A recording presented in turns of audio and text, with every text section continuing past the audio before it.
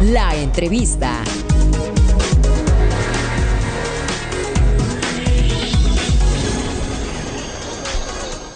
Sobre este tema que nos acaba de presentar mi colega Ilse Aguilar, platicamos con Alejandro Calvillo, director de El Poder del Consumidor.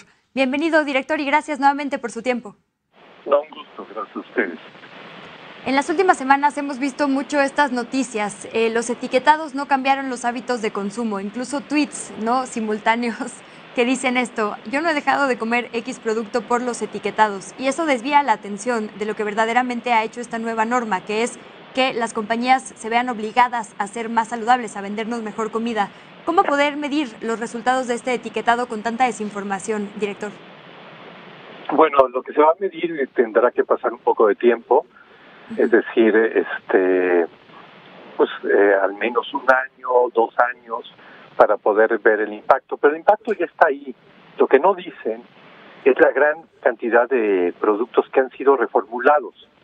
Ah, en diciembre del año pasado, cuando apenas el etiquetado había entrado en vigor, eh, las grandes, grandes empresas salieron a decir y a declarar que habían cambiado ¿no? que habían reformulado muchísimos de esos productos bajando contenidos de sodio, sal, digamos, grasas y azúcares. Eh, y son estos ingredientes los que se vinculan mucho con estas enfermedades, ¿no? Con la obesidad, con hipertensión, con enfermedades cardiovasculares, con diabetes. Y esa reformulación de, productos no la habíamos visto en México nunca, ante cualquier medida, nunca, nunca, nunca se había dado. Ese ya es un gran paso ¿no? Pero hay una gran desinformación. Hay que recordar que pues estas empresas, eh, gran parte de, su estrategia es negar que estas medidas puedan ir eh, generando cambios. Una sola medida no va a generar cambio, pero varias medidas, como las que recomienda la Organización Mundial de la Salud y se han probado en otros países, como impuestos, como sacar estos productos de las escuelas, prohibir la publicidad de estos productos a los niños, etiquetados de advertencia, el conjunto de esto y políticas que vuelvan más asequibles eh, el acceso a alimentos saludables, pues sí están generando cambios. Hay historias sobre esto, no hay, hay mucho escrito y muchos escritos sobre la industria, no gente de dentro de la industria. Yo acabo de escribir un artículo, no este que habla de que eh, un evento que hubo hace 22 años en Minneapolis, donde se juntaron los directivos de Nestlé, de Kraft, de Coca-Cola, no, de todas estas empresas, sí fueron convocadas por algunos de los eh, expertos técnicos de las empresas y les dieron una presentación y les dijeron, señores, la epidemia de obesidad está creciendo y todos nos están señalando y sí, nuestros productos tienen altos contenidos. Esperaban estos técnicos que se llegara a un acuerdo entre los CEOs, entre los directivos de estas empresas, para hacer una política de reducción de estos ingredientes. Y la única intervención fue de un directivo de General Mills, está descrito en un libro muy famoso que el escritor de un premio Pulitzer, ¿no?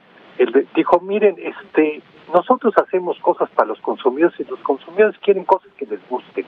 Este, yo no voy a ir en, contra de esto y nosotros vamos a seguir adelante. Y, y se, ahí se terminó la reunión que costó mucho trabajo juntar a todos los directivos de estas empresas, trabajaron mucho en la presentación los técnicos, subieron a cenar al piso 40 del edificio, ¿no? de esa empresa y ya ahí quedó. Y hay un recuento de, gente dentro de la industria tratando, dentro de PepsiCo, tratando de bajar la sal y diciéndoles a, a los CEOs, a los directivos, hay que bajar la sal porque esto está generando hipertensión, daños al corazón, y nada, nada, nada.